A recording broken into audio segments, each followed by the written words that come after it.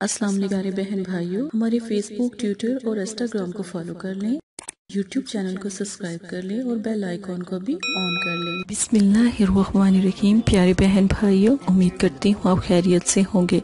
अल्लाह पाक आपको सेहत और तंदरुस्ती अता फरमाए। जो भी अपनी बहन की वीडियो सुन रहे हैं, अल्लाह पाक उन सब की मुश्किलें आसान कर दे। आमीन सुम आमीन। अगर आप अमलियात सीखना चाहते हैं या इस्तखारा रूहानी इलाज करवाना चाहते हैं तो मदरसा फातमा तो जहरा बनात से मदद हासिल कर सकते हैं। आज का बहुत प्यारा अमल। परी मोकिल और परी मोकिल के बादशाह को हासिल करने का अमल मैं आपको बताऊँगी और अमलियात में इसको सिखाऊँगी कैसे इस तरीके से हाजिर किया जाता है। मैंने कभी भी आपको कोई ऐसा अमल वल्लाह नहीं दिया जिसमें किसी को कैद किया जाए, कैद करना गुनाह है। मैंने सिर्फ़ हाजिरी का अमल हमेशा आपको बताया। ये अमल भी हाजिरी का है। हाजिरी परिमोकिल इससे पहले नबी पाक सल्लल्लाहु अलैहि वसल्लम की अहदीस से शुरू करते हैं।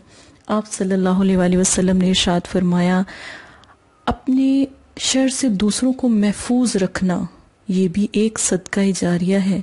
ये बुखारी मुस्लिम की हदीस है। प्यारे बहन भाइयों, किसी को दुख देना अल्लाह पाक को पसंद नहीं, हमारे नबी को पसंद नहीं, हम अपने नबी के उम्मती हैं तो फिर हमें भी इस चीज़ को समझना चाहिए कि जब हमारे नबी को पसंद नहीं तो फिर हम कौन होते हैं किसी को तकलीफ़ देने वाले? परी मोकल से शुरू करते हैं, परी और मोकिल। जैसा कि परिये नूर की हाले मोकिल नूर की हाले, ये परी, परिजादे परी मोकिल ये सब चीज़ें, ये बिल्कुल इंसान, जब भी इंसान के सामने ये हाजिर होते हैं, बिल्कुल इंसान की मुशाबा से ही हाजिर होते हैं, उनका अपना कोई ऐसा, जैसे हवा का रूप है ना, कभी ऐसे रूप में भी ये आते हैं, लेकिन अक्सर दफ़ा जब हाजिरी होती है तो ये इंसानी रूप में आते हैं। ठीक है? क्योंकि ये पसंद नहीं करते अल्लाह के बंदों को तंग करना, परेशान करना, क्योंकि ये खुद भी मुसलमान होते हैं, ठीक है? अब इसको जो अमल है, इनको बादशाह बख्तनोश ठीक है? इनकी हाजिरी का मैं अमल आपको समझाऊँगी। और ये ना हाथ की हथेली के ऊपर भी अमल किया जा सकता है। दोनों तरीके आज मैं आपको समझा दूँगी। वक्त रात का बारह बजे का ठीक है? याद रखिएगा, दिन जुमेरात का। द्रुद पाक इकतालीस बार नमाज़ की पाबंदी। और जो अमल जो करना है ना आपने, उसका भी जो ये अमल में दुआ पढ़नी है ना आपने, उसका भी जो काउंट है वो इकतालीस बार है। ठीक है? खुशबू वाला तेल का काजल, चाहे चंबेली का हो, गुलाब का तेल हो, खुशबू वाला हो अतर ले लें असेंशन ऑयल ले लें, पर वो ऑयल हो, ठीक है? और उसके, आप स्या रंग का काजल लें, बिल्कुल स्या रंग का लीजिएगा। उसके अंदर एक कतरा चंबेली का तेल या गुलाब का इस तरह तेल मिक्स करके तो अब आपने काजल बना लिया। काजल को आपने इस तरह खाने में, इस खाने में, इस तरह ये खाना बनाना है। अब जब ये नक्श बनाएँगे ना, जहाँ पर इनकी, इन परी मोकिल की हाजिरी होनी है तो वो यहाँ होगी। याद रखें, इस जगह होगी। ठीक है? ये देखें स्केल से आपको नज़र आ रहा होगा, इस जगह हाजिरी होगी। ठीक है? अब ये देखें, ये अब पढ़ने का तरीका जो मैंने आपको समझाना है पर एक दफ़ा हाजिरी का देख लें, खुशबू वाला तेल यहाँ पर काजल बनाकर लगाना है, नक्श बिल्कुल ऐसे ही बनाना है, जिब्राइल, मिकाइल इसराफील इसराइल, ठीक है? तीन, आठ छः इस तरह यहाँ पर जिस तरह ये बना हुआ है, नक्श इसी तरह पुर करना है, नक्श की कोई चाल नहीं, सीधे हाथ से लिखे, एंड यहाँ तक करें, ठीक है? अब गौर से सुने। अब जब आपने ये नक्श तैयार कर लिया और ये जो काजल है, वो इसके अंदर आपने लगा लिया, ठीक है? अब आपने रात के 12 बजे पाक साफ़ होके वज़ू करके बैठ जाना है। ये अमल कितने दिन करना है?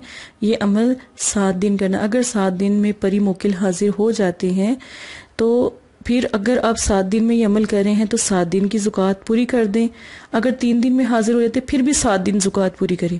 अगर सात दिन में हाजिर नहीं होते और हल्की हल्की यहाँ पर रोशनी पैदा हो जाती है, ठीक है? तो फिर आपने, ये अगर आप आँखें बंद भी करेंगे ना तो ये रोशनी यहाँ पर नज़र आती रहेगी, ठीक है ना? ये रोशनी आपकी आँखों से जाएगी नहीं। फिर जब आप सात दिन पूरे करें, रोशनी ना यहाँ पर नज़र आए, चमक पैदा ना हो, गौर से देखने से भी रोशनी नज़र ना आए तो फिर आपने क्या करना है? फिर सात दिन फिर दोबारा से शुरू करना है। बिल्कुल उसी तरह सात दिन के बाद आठवां दिन, नौवा दिन, दसवां दिन, इस तरह करना है। ठीक है, वैसे तो तीन से सात दिन में हाजिरी हो जाती है, अल्हम्दुलिल्लाह। रूहानियत अच्छी होनी चाहिए आपकी, ठीक है? मैं आने वाले दिनों में बातनी आँख का रूहानी आँख का थर्ड आई का सारे अमल आपको मैं समझाऊँगी, ठीक है? ये आप लोगों की ख्वाहिश पर ही तमाम अमलियात सिखाई जा रही है, ठीक है? अब आपने जब ये नक्श जो है बिल्कुल ऐसे तैयार कर लेना है और रोशनी कमरे में कैंडल रोशनी हो, यानी मोमबत्ती जितनी रोशनी हो, ज़ीरो का बल्ब हो, मोमबत्ती अगर आप इस्तेमाल नहीं कर, खुद को भी थोड़ी सी खुशबू लगा लें, खुशबू जो इबादत की बरकत में से है, इबादत में ताकत पैदा करती है, ठीक है? इकतालीस मरतबा द्रूशीफ फिर, ला इलाहा मुहम्मद रसूलुल्लाह या मशो कला हाजिर शु ठीक है, पूरा कलमा पहले आपने पढ़ना है। फिर, या मशो कलान हाजिर शु ये नाम आपने फिर लेना है। ठीक है, फिर आप का जिस रूप में भी आप अपना इरादा रखेंगे, जौन सा भी रूप आप अपने दिमाग में रखेंगे, परी मोकिल उसी रूप में ये दोनों हाजिर होंगे। अगर आप परी का रूप खूबसूरत हसीन जो सी है, नूर के हाला परी का रूप आप इख्तियार अपने दिमाग में रखेंगे, दुआ उसकी करेंगे तो वो हाजिर होगी तो मोकल हाजिर हो जाएँगे, ठीक है? जो बादशाह बदतनोश के ही होंगे, ठीक है? अब आपने जब ये अमल कर लेना है, अमल करने के बाद, जब सात दिन ये अमल पूरा हो जाए, सात दिन होने के बाद आपके काबू में ये अमल आ जाए। फिर तो आप तीन मरतबा भी पढ़ेंगे ना तो ये हाजिर हो जाया करेंगे। ठीक है? बादशाह हाजिर हो जाए। अगर अगर आपने किसी बच्चे पर हाजिरी करवानी है ना, छोटे बच्चे पर, दस साल से या बारह साल तक के बच्चे पर हाजिरी हम आराम से कर सकते हैं, उसको कहीं आँखें बंद करें। आँखें बंद करने के पर उसके हाथ पे ना स्या दायरा बना दें। चोरस बनाएँ, ठीक है? चाहे गोल बनाएँ, दायरा बनाने के बाद उसके अंदर काजल भर दें और बच्चे को के इस काजल में गौर से देखें। ठीक है? बस बच्चे को कहना है, आपने गौर से देखना है, आप ये वाला जो अल्लाह का कलाम है, ये पढ़ करना, उस बच्चे के सर पर दम करें। जब बच्चे के सर पे दम करेंगे ना तो जो, जिस बच्चे के ऊपर भी सर पर दम करेंगे, ठीक है? लेकिन उसको भी साफ़ कपड़े पहनाएँ, वज़ू करवाएँ, पाक साफ़ करके बच्चे को जो सा अमल उसके पर हाजिर करवाएँ।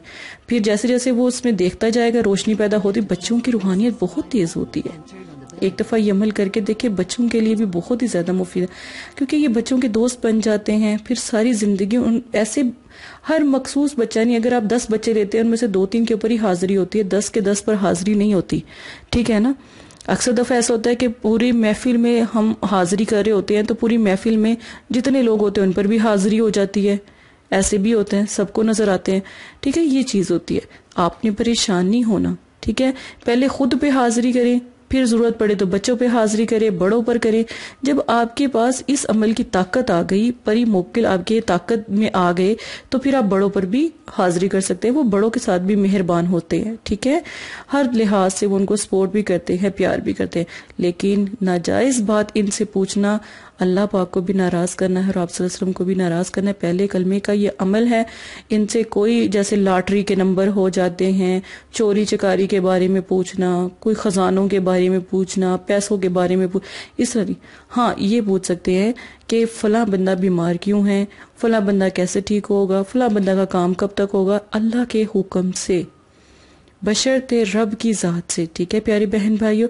ये बहुत आसान और बहुत अच्छा अमल है। इसमें ना कोई परहेज़ है और ना ही सिर्फ़ ये है कि जिस दिन आपने अमल शुरू करना है ना उससे एक दिन पहले ना आप गोश्त खाना छोड़ दीजिएगा, ठीक है? ताकि आपके पेट बिल्कुल साफ़ हो और अच्छे तरीके से अमल आप कर सके। अमल जब भी आप करें, जुमेरात, नौ चंदी जुमेरात को शुरू करना है। नए चाँद की पहली जुमेरात को शुरू करना है। मैं आपकी आसानी के लिए बता देती हूँ। आज एक छोटी सी बात, एक दुआ के साथ। बहुत से ऐसे बहन भाई हैं जो घर में बीमार हैं, परेशान हैं, हाजत भी हैं, बीमारी भी हैं, लेकिन वो जादू और जिन्नात के हिसार में भी हैं। लोगों ने उनके ऊपर जादू करवाया, उनके ऊपर जिन्नात को छोड़ा। कारोबार नहीं चल रहा, कारोबार में बरकत नहीं है। रोजी रिस्क जो सा है ख़त्म हो गया। ना किसी से वो मांग सकते हैं, ना किसी से कह सकते हैं। अल्लाह पाक से फरियाद करते हैं, लेकिन लोगों ने उनका क्या किया? रिस्क बंद कर दिया। उनके ऊपर जादू करके, उनको नुकसान पहुँचाया। आप सिर्फ़ और सिर्फ़ ये नक्श बना लें, इस नक्श को अपने पास रख लें। ये आपकी हर हाजत तो पूरी करेगा ही। ठीक है? क्योंकि ये मोकलीन परी मोकिल का नक्श है, ठीक है? ये आपकी हाजत तो पूरी करेगा, ठीक है? लेकिन ये नक्श आपके ऊपर कभी जादू, कारोबार में बंदिश, रिस्क में बंदिश, जैसे जॉब पर बंदिश लग जाती है, इस तरह की चीज़ों पे जो बंदिश होती है, वो ख़त्म कर देगा। घरों में बीमारियाँ बहुत ज़्यादा हो जाती हैं, घरों में लड़ाई झगड़े बहुत ज़्यादा हो जाते हैं।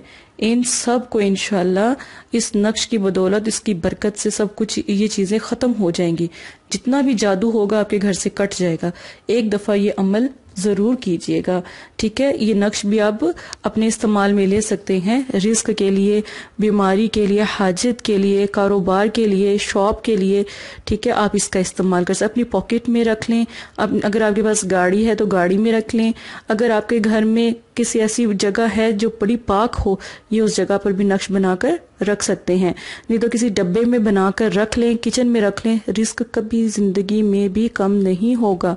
सुबहान अल्लाह इसी के साथ इजाज़त दे, अपना ख्याल रखिएगा। जजाकल्ला खैर। अस्सलाम वालेकुम प्यारे बहन भाइयों। अगर आप इस्तारा या रूहानी इलाज करवाना चाहते हैं या अमल करवाना चाहते हैं या अमलियात सीखना चाहते हैं तो हमारे फेसबुक पर आकर आप फेसबुक को फॉलो कर सकते हैं और यूट्यूब चैनल को सब्सक्राइब करके वहाँ पर हमसे बात कर सकते हैं। जो भी मसला परेशानी है, उसमें ज़रूरत आपका नाम, आपकी वालदा का नाम सिटी कंट्री मौजूदा और मसला बयान ये चीज़ें बताकर आप अपना इस्तारा भी करवा सकते हैं। जैसा जजाकल्ला और अगर आपने इस्तारा करवाना है तभी रबता करें। अगर इस्तारा नहीं करवाना तो ये दीन है, ये कोई फ़न या इंटरटेनमेंट नहीं है। अपना भी टाइम ज़ाया ना करें और मदरसे वालों का भी टाइम ना ज़ाया करें। आपकी वजह से बहुत से ऐसे लोग जो परेशान हाल घरों में हैं, उनकी भी बात फिर नहीं सुनी जा सकती। जजाकल्ला